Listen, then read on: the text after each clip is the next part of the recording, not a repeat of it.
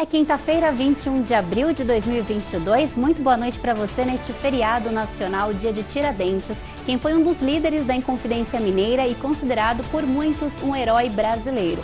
TV Jornal Segunda Edição está começando agora e hoje você vê. Vamos falar de vestibular nesta edição, te lembrando que seguem abertas as inscrições para o vestibular de medicina da Unifev. A Unifev não para de investir, né?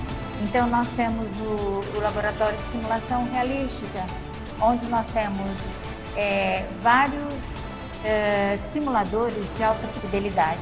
É assunto também nesta edição a tendência do chamado bento cake. Já ouviu falar? Essa técnica de decoração tem ficado cada vez mais popular e agradado os consumidores. Falei, gente, que tendência é essa? Aí eu fui pesquisando e comecei a falar assim, vamos fazer um teste. E já tem dois meses já de, de bolinho. Esses e mais outros assuntos você vê agora, já estamos no ar.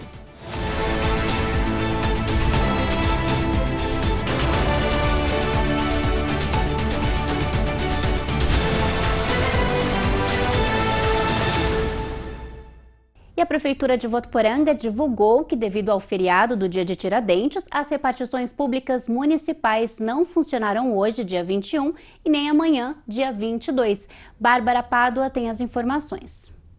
Boa noite, Yasmin. Boa noite a todos. Os serviços públicos considerados de emergência e urgência funcionarão normalmente, como, por exemplo, o Mini Hospital Fortunata Germano Pozubon e a UPA 24 Horas. O Parque da Cultura fica à disposição do público, mas a Escola de Artes e o Centro de Cultura, onde estão a biblioteca e o museu, seguem fechados. Estavam fechados hoje e só retornam no sábado. A Casa do Bosque funciona durante todo o final de semana, das 7 da manhã às 7 da noite.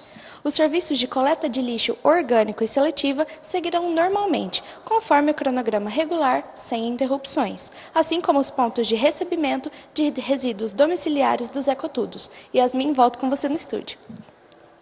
Obrigada, Bárbara. A gente aproveita agora para reforçar que seguem abertas as inscrições para o vestibular 2022 de medicina da Unifev, viu? A seleção de candidatos é para a formação da 11ª turma e vai ser realizada pela Fundação Vunesp com questões dissertativas, objetivas de múltipla escolha e uma redação. A prova é no dia 22 de maio, aqui em Votuporanga e também em São Paulo. Há uma década, o curso da Unifev forma profissionais médicos para todo o país e tem conquistado no notoriedade por meio de sua tradição e de seus excelentes índices e resultados.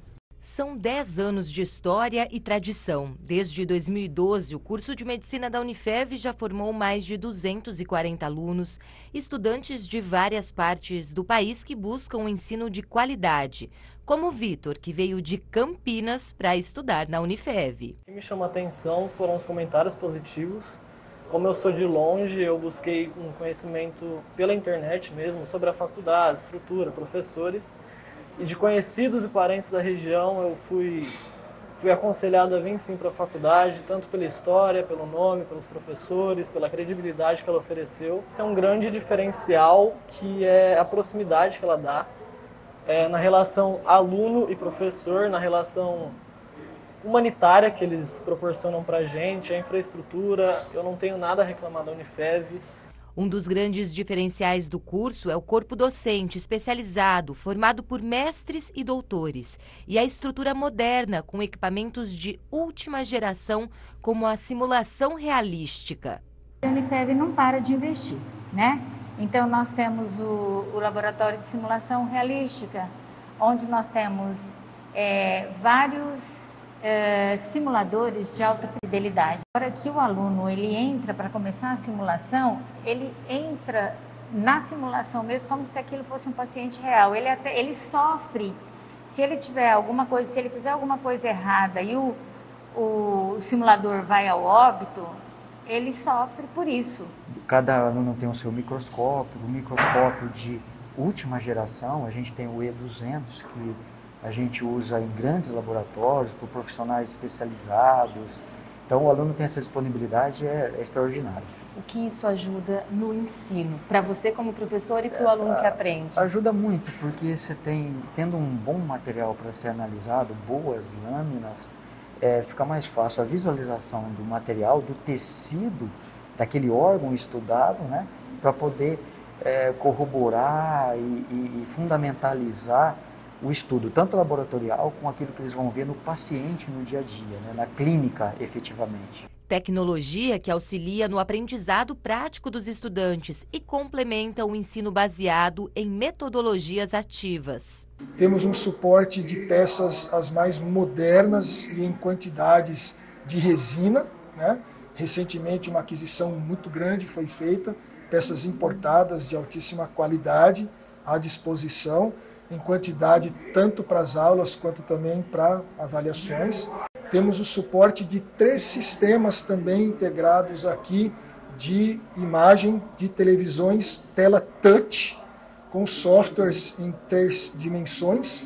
Então, o aluno pode também é, se valer desse recurso. E uma dessas salas que a gente fala de prática é essa onde nós estamos. Aparentemente é um consultório normal, tá aqui a mesa do médico, o local aqui para o paciente sentar, mas é uma sala diferente. Explica é. para gente, por trás desses espelhos tem um segredo. É. Na realidade, isso aqui é uma sala com espelho unidirecional, né? Então, o paciente, aqui nós trabalhamos com paciente real. Então, no quinto período, o aluno ele é preparado é, teoricamente, a gente dá aulas aqui explicando para ele tudo que ele tem que fazer, quais são as habilidades que ele tem que adquirir aqui dentro. Então, lá fica o tutor e todos os outros 9, 10 alunos do grupo.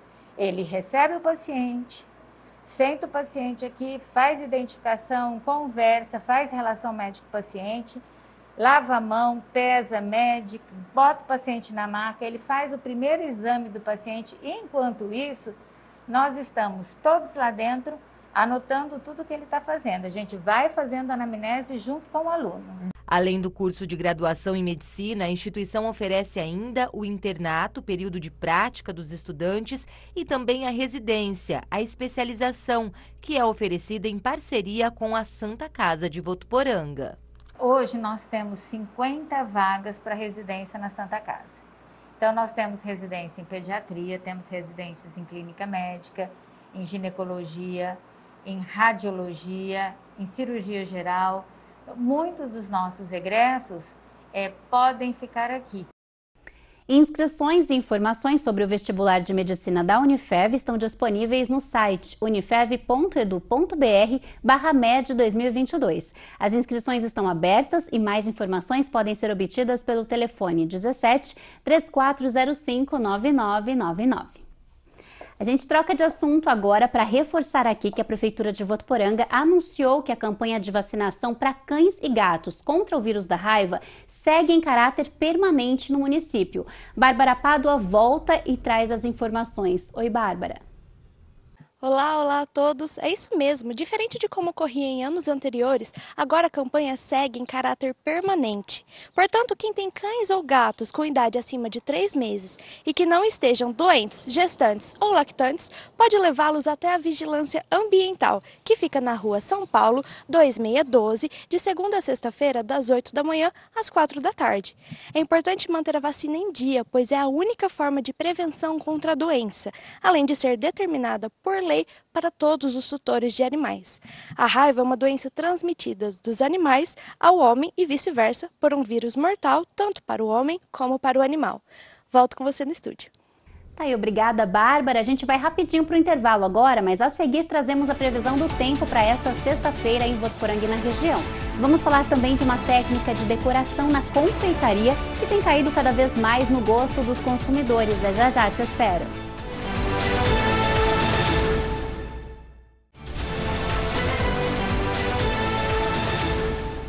Já voltamos com o TV Jornal e o nosso assunto agora é de dar água na boca, viu? Já ouviu falar em bento cake? Essa nova tendência na confeitaria chegou com tudo e tem feito sucesso, inclusive aqui em Votuporanga. A gente acompanha a seguir.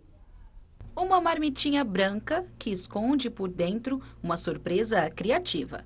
A figura animada misturada com frases engraçadas ganhou a internet, virou febre no Brasil e, num linguajar mais digital, podemos dizer que esses bolinhos fofos viralizaram. Afinal, quem não quer ser agradado com um doce, um mimo personalizado e ao mesmo tempo instagramável? Foi na, na internet mesmo que eu comecei a pesquisar, vendo esses mini bolos, os florks, né? Que são esses, esses menininhos. Eu falei, gente, que tendência é essa? Aí eu fui pesquisando e comecei, falei assim, vamos fazer um teste. E já tem dois meses já de, de bolinho, os, os bento cakes. Já tem dois meses já que a gente está fazendo. E cada dia a gente está mais especializando, né? E por que bento cake? É, na Coreia do Sul, no Japão, eles servem alimento na caixinha, né? A marmitinha. E no Brasil veio a tendência do, do cake, que cake é bolo. E aí o flork, então, o flork é o menininho. E o bento é o sistema de alimento na caixinha. A maneira de servir. É a, a maneira de servir. São várias frases criativas, né? Tem uma que faz um pix, tô chegando papai. É. Então, assim, além de brincadeira, também momentos Casais de emoção. que teve uma briguinha, uma desavença, eles fazem uma mensagem legal para reconciliação, eu acho muito legal isso daí. É uma amiga que fez um aniversário, enfim, tem inúmeras é, mensagens para fazer, você entendeu? Tanto de família como amigo, amigos de empresa. Como uma tela em branco é um mar de possibilidades para um artista, o bento cake é para a confeiteira uma forma divertida e criativa de mostrar o seu talento e o seu amor pela confeitaria. Apesar dos desenhos virais parecerem rabiscos fáceis de fazer, é preciso técnica, tempo e dedicação para chegar a um resultado satisfatório. Já desisti, viu, pessoal? Já vi que, como confeiteira, eu sou uma ótima jornalista.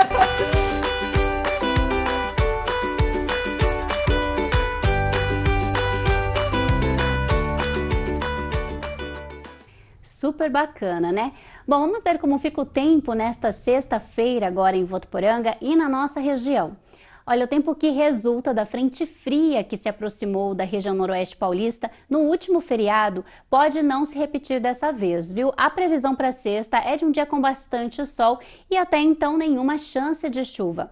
Vamos às temperaturas. Em General Salgado, mínima de 18 e máxima de 33 graus. Em São João de Iracema, mínima de 19 e a máxima podendo alcançar aí os 32 graus.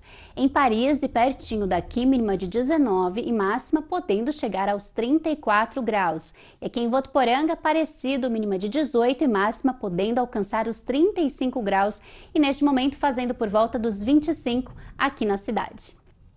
A gente então vai ficando por aqui. Muito obrigada pela sua companhia. Ótima noite para todos nós e, claro, um excelente feriado. Fiquem com Deus. Tchau, tchau.